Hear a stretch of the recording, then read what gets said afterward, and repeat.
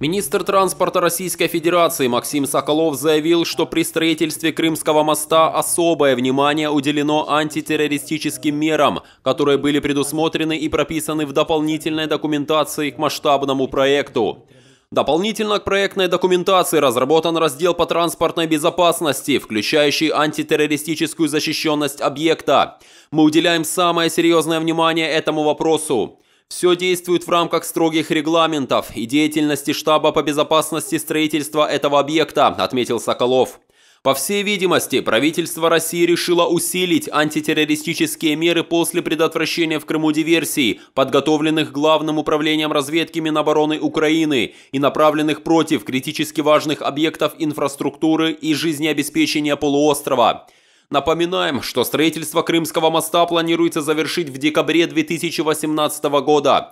Тогда будет открыто движение по мосту в рабочем режиме.